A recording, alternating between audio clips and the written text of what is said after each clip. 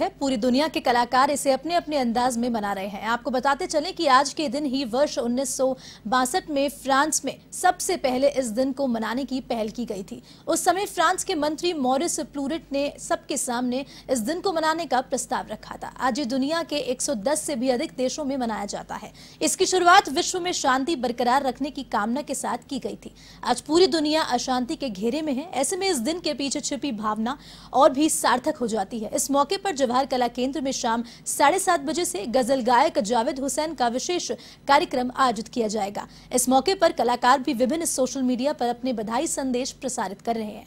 आपको बता दें, कलाकारों ने एवन टीवी से भी ऐसे ही संदेश साझा किए हैं। आइए देखते हैं उनकी एक झलक।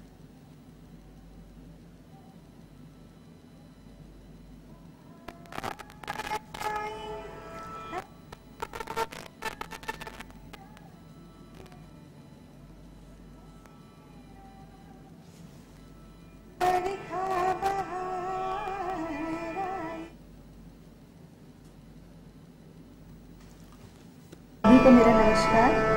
आज विश्व संगीत दिवस के इस अवसर पर आप सभी को बहुत बहुत शुभकामनाएँ और आज के दिन की शुरुआत मैं बहुत ही सुंदर गीत की दो लाइनों के माध्यम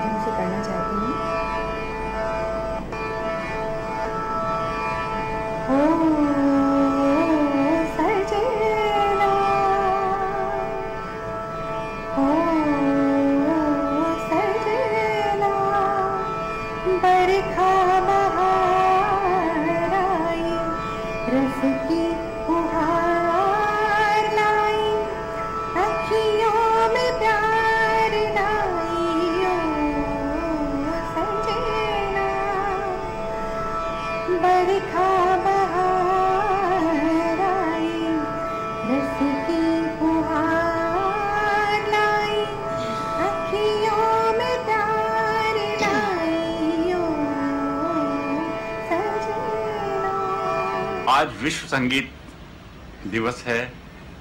सारे दुनिया के कलाकार आज बहुत शांतिपूर्वक इसको मनाएँगे और इसकी धूम पूरे संसार में छा जाएगी।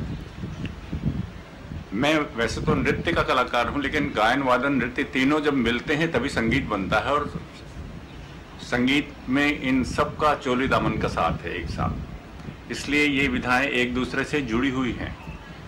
कोई भी एक अगर नहीं है तो वो अधूरा सा लगता है। दुनिया में आज बहुत अशांति फैली हुई है, लेकिन संगीत हमेशा शांति का ही संदेश देता रहा है। और मैं भी आज इस विश्व संगीत दिवस के अवसर पर सारी दुनिया के कलाकारों को बहुत बहुत बधाई और शुभकामनाएँ देना चाहता हूँ। एवन टीवी के माध्यम से टोरंटो म्यूजिकल ग्रुप के वर्चुअल प्लेटफॉर्म के माध्यम से, कला अंकुर और टीएमजी के कलाकारों को एक ग्लोबल प्लेटफॉर्म जो मिला है, उसके लिए मैं धन्यवाद देना चाहती हूँ। टीएमजी के फाउंडर राजीव सूद जी का, अनिल जैन जी का कलांकुर से और एवन टीवी का।